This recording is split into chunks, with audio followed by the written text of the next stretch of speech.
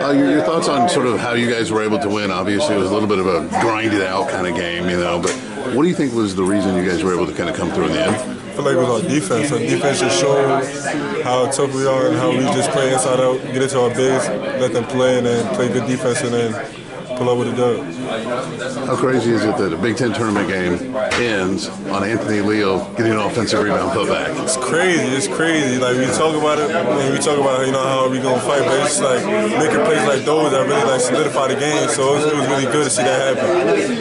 Happy for. You guys obviously, yeah, Xavier was talking about it. You had some struggles during the season. Now a winning streak here at the end. You guys are on a winning streak in your mind because of what? What, what what's led to this?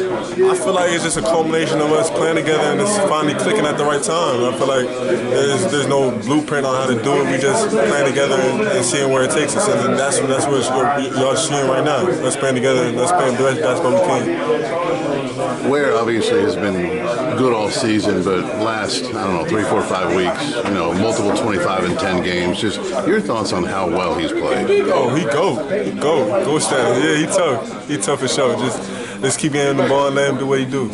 Gotcha. Um, a tournament run for you guys, Big Ten tournament run, would mean what? I mean everything. You know, we trying to go for the chip, so that's our main goal, and that's what's on everybody's mind right now. Thanks, man. No problem.